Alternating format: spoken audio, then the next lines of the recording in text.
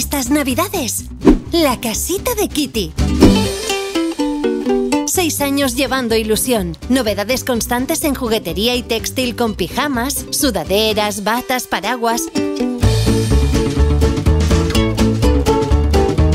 Para niños, jóvenes y adultos, líneas clásicas, las de siempre como Marvel, Star Wars y las más novedosas como Fortnite.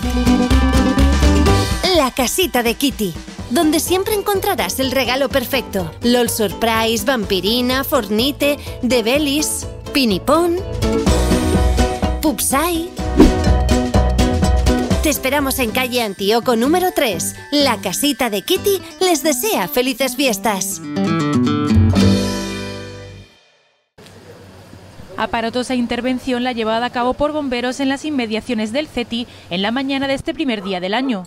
Un total de cinco efectivos del Servicio de Extinción de Incendios y Salvamento han tenido que rescatar a un hombre de nacionalidad argelina que cayó por un barranco a una altura aproximada de 15 metros. A las once y media de la mañana, Bomberos recibió el aviso a través del 112, acudiendo a la zona con tres unidades para proceder al rescate. Al llegar al lugar, se encontraron al varón en el fondo de una vaguada, donde procedieron a su inmovilización y aseguramiento. Mediante un sistema de cuerdas y poleas, los efectivos pudieron subir al hombre a la carretera, donde le esperaba una ambulancia del 061.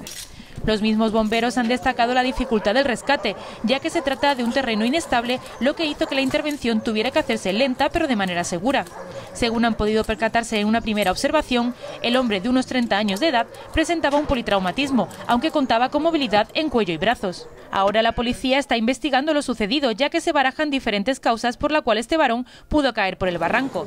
Entre ellas cobra fuerza que le pudieran haber empujado desde la carretera de acceso al centro, ya que dudan que pueda haber caído solo.